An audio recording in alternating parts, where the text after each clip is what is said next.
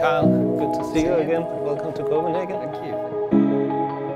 My name is uh, Dan Bach Christensen. I'm a principal scientist here. My role is to characterize our products. We have uh, seven products in, in clinical development now constituting 14 antibodies in total, so uh, there's a lot of characterization work to be done.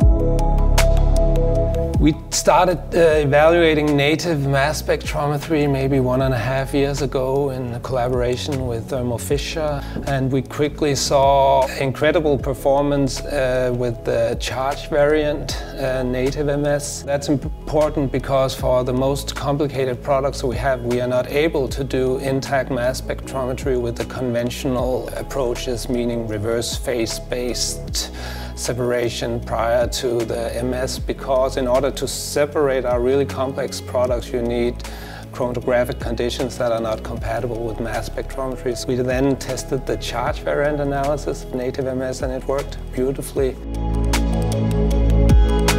For native mass spectrometry, we use a Thermo Scientific Vanquish Horizon UHPLC system, and that is connected to a Thermo Scientific Q-Exactive Plus with a Biopharma MS.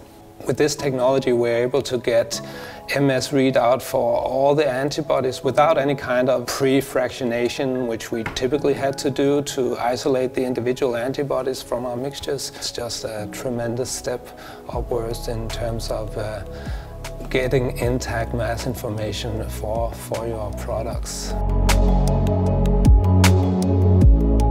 It's important to remember that these antibodies in the most complicated products are, are highly similar, so they are challenging to, to separate by any technique.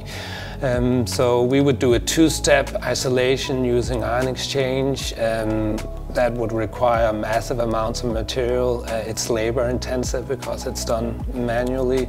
With the native MS, with the charge variant in front, we can do the analysis in, in 15 minutes without any sample preparation. So it's, it's, it's two different worlds and it's something we rely extensively on now.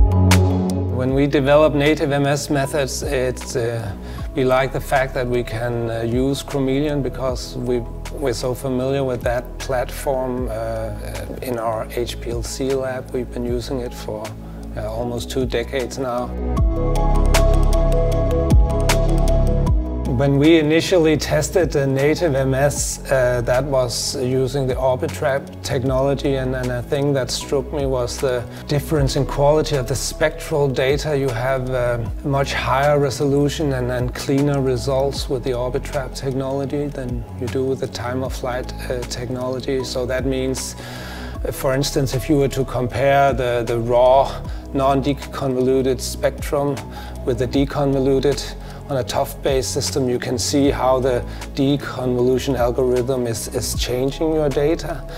If you do the same on an uh, Orbitrap uh, native MS data or even just uh, intact mass data in general on, on Orbitrap, you can see that the, the, the, deconvolution algorithm has very little impact on, on the, the data quality. So that means the, the, the starting data quality is, is just uh, at a different level. So we just find the, the quality of the, the raw data is, is uh, uh, superior with the Orbitrap technology in terms of intact mass spectrometry, uh, including native MS, of course.